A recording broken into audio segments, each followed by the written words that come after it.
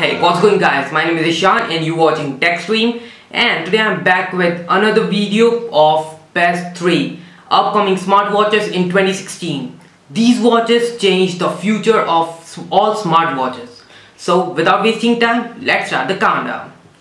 The watch on number 3 is HTC One watch. Yeah, HTC One. So HTC has long been rumored to be developing a smartwatch previously known as the HTC One Wear.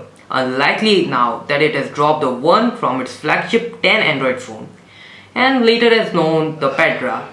Expected to be here in June, the HTC Watch has just been pushed back again.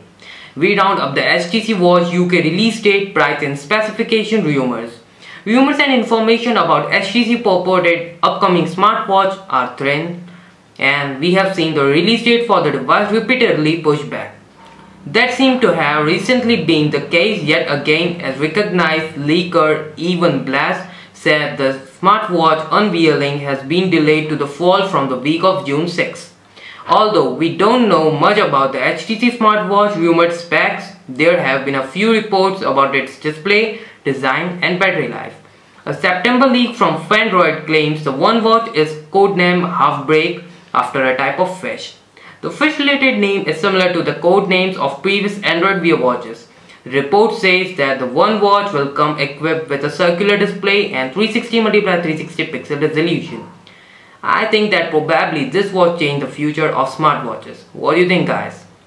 So anyway, the watch on number 2 is Samsung Galaxy Gear S3. Gear S3. Wow. We probably see that ultimate gear in September. So you have to wait for this ultimate version of Samsung Watch. Samsung is apparently working on the next generation of its Gear S smartwatch, tentatively known as the Gear S3 and has partnered with luxury brand De Grisogono to create a super luxurious version for launch at a later date. The De Grisogono Gear S2 costs around $15,000 and is a limited edition with only 100 made each month.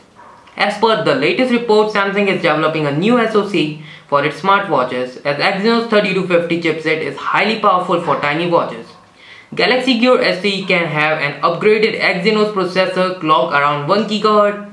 It will boost 1 GB or 512 MB RAM and will have 4 GB of internal memory capacity.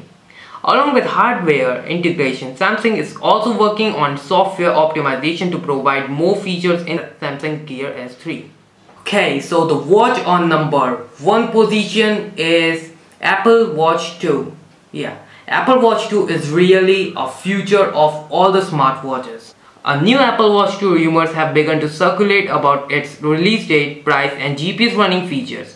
The launch may happen either in a few days on June 13 alongside iOS 10 at uh, Apple's WWDC 2016 event or in September along with the likely iPhone 7 and iPhone 7 Plus debut. New Apple Watch 2 features coupled with a Watch OS 3 update are bound to let you do more directly from the smartwatch too.